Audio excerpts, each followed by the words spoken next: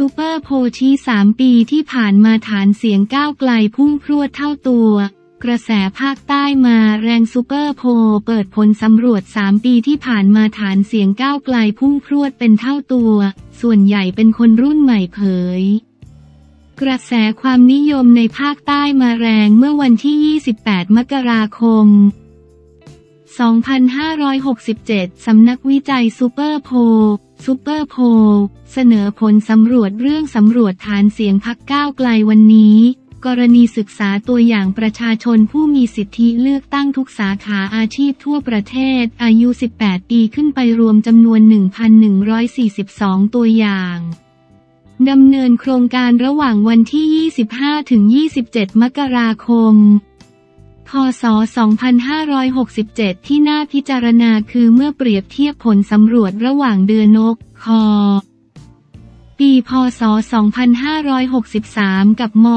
คปี พศ 2567 เกี่ยวกับการตัดสินใจเลือกตั้งของประชาชน ถ้าวันนี้เป็นวันเลือกตั้ง จะเลือกพักก้าวไกล หรือไม่เลือกพักก้าวไกล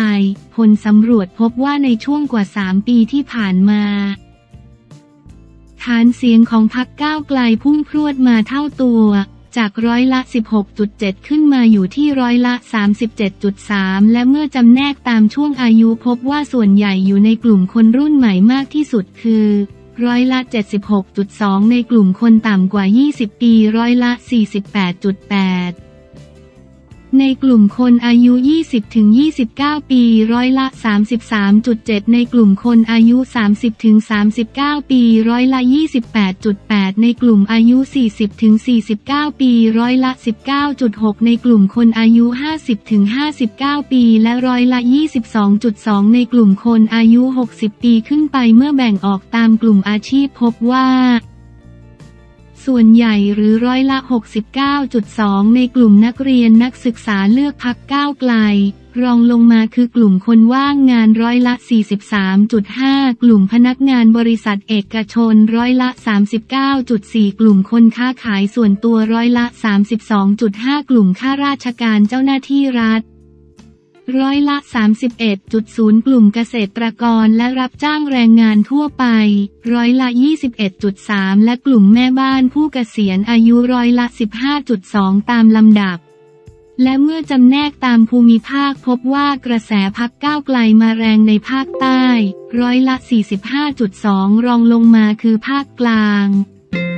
ร้อยละ 40.3 อีสานร้อยละ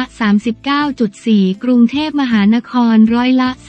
38.4 แต่ในภาคเหนือพบเพียงร้อยละ 9.7 ในการสำรวจครั้งนี้รายงานของซูเปอร์โพลระบุว่า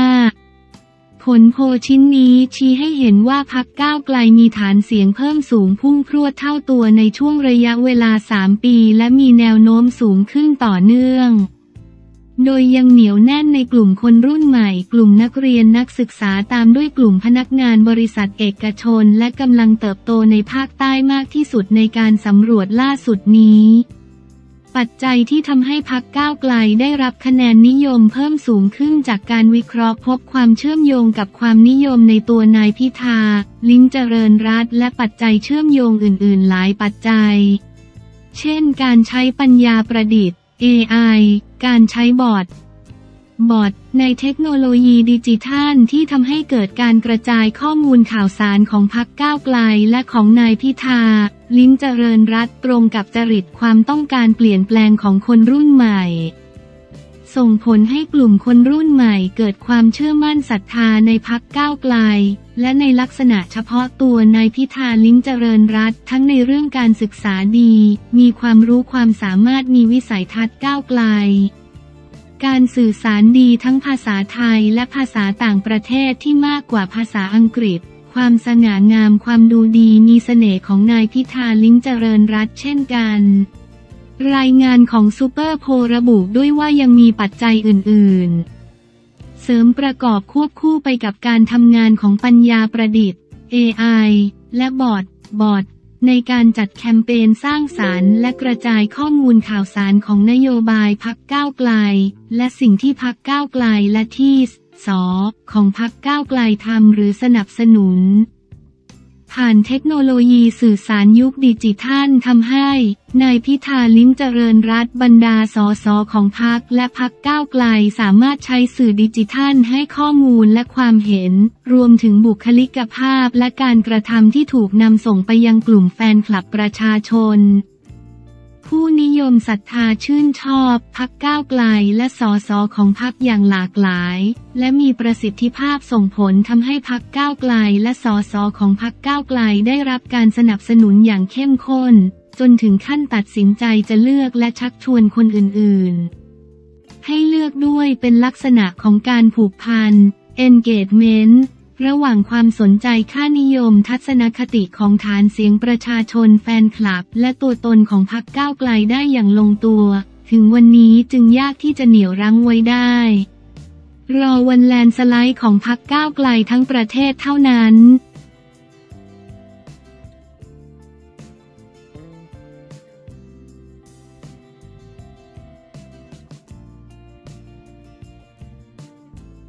แชร์คลิปเสียงไถเงินคุณนายอธิบดีกรมข้าวลั่นเคลียร์มาหลายคนแล้วจ่ายจะได้จบจากกรณีตรวจค้นและจับกลุ่มตัวนายศรีสุวรรณจันยาผู้นำองค์กรรักชาติรักแผ่นดินหรือนักเคลื่อนไหวชื่อดัง พร้อมด้วยนายยวริศชูกล่อง หรือเจ๋งดอกจิกประธานกลุ่มรวมใจรักชาติ และนางสาวพิมนัฐฐาจิรพุทธิภาค อดีตผู้สมัครสอสอพักรวมไทย สร้างชาติหลังร่วมกันข่มขู่เรียกเงินนายนัฐกิจ อธิบดีกรมการข้าว 1.5 ล้านบาท ผู้สื่อข่าวรายงานว่าที่ปรึกษากฎหมายของนายนัฐกิจของทิพอธิบดีกรมการข้าวได้มอบคลิปเสียง และแชทสนทนาของกลุ่มผู้ต้องหาที่ได้ติดต่อกับ อธิบดีกรมข้าวให้กับรายการเรื่องเล่าเช้านี้ ซึ่งพบว่า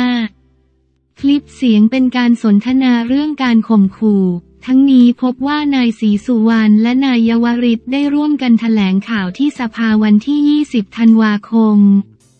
เรื่องกรมการฝนหลวงให้ตรวจสอบเรื่องการทุจริต และได้ทิ้งท้ายว่ากำลังมีการทุจริตในกรมการข้าว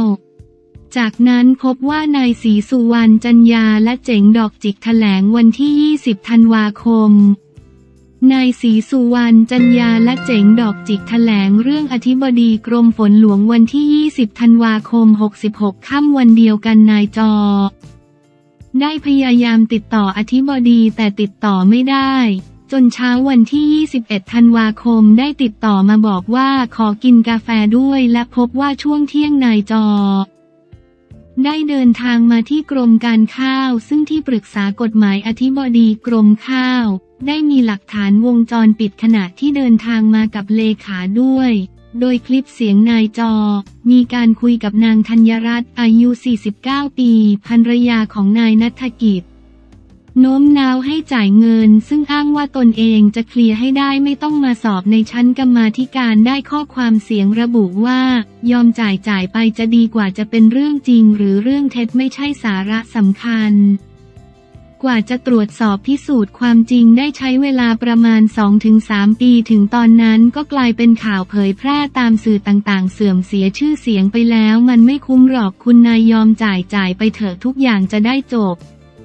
อย่างน้อยก็ถือว่าเอาไว้เป็นพวกกัน แชทหลักฐานการขู่เอาเงินอธิบดีกรมข้าว นอกจากนี้ระหว่างที่คุยกับภรรยาอธิบดีกรมข้าวยังมีการพูดพาดพิงถึงอธิบดีกรมฝนหลวงว่า เรื่องใหญ่อยู่ที่ศาสตราจารย์ศาลา คนที่จะเป็นข่าวคนที่จะเหนื่อยมากต่อไปและจะติดคุกด้วยคือ อธิบดีกรมฝนหลวง ทั้งนี้เสียงในสายอ้างว่าอธิบดีกรมฝนหลวงได้ล็อก TOR ผู้สื่อข่าวรายงานว่ายังมีการเปิดคลิปเสียงอีกหลายสาย